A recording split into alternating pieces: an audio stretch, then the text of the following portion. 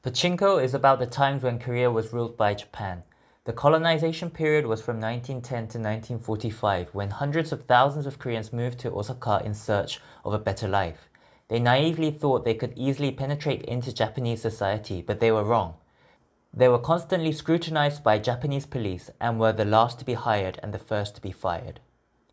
When Korea declared independence in 1945, the situation became even worse for Korean residents in Japan. They suddenly became stateless foreigners overnight. Some returned to Korea, but many could not leave Japan because they had no home in Korea and their children's native language was Japanese. But they were not given Japanese citizenship. No matter how long you lived in Japan, even you were a third generation immigrant, you still had to remain as an eternal foreigner residing in Japan. To make matters worse, Koreans in Japan could not get decent jobs because of their nationality and background. Pachinko, the Japanese national pastime, was one of the only means through which Koreans could climb up the social ladder and gain financial security. A number of Koreans in Japan began working at pachinko parlors and later became managers or owners of these parlors. Pachinko is the story across four generations of a Korean family who moved to Japan during the Japanese occupation of Korea. Of course, pachinko is a story of the past. Things have changed now.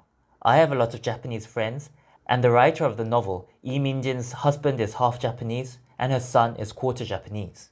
Even though Koreans are hurt by history of colonization, they mingle into the global society with Japanese people and even form families with them. And as Lee Min-jin says, it's silly to say all Japanese people are evil just because they have a colonial history. But what is evil is dishonesty about one's history. And yet the Japanese government is still being dishonest. They do not admit their faults of the past, inclusive of military sex slaves. Future governments inherit the debts of past governments, whether they be financial or moral.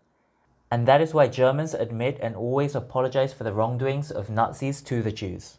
As Min-jin says, we are not in a position to forgive on behalf of all Koreans. But if Japanese are honest about history, we can begin to consider reconciliation.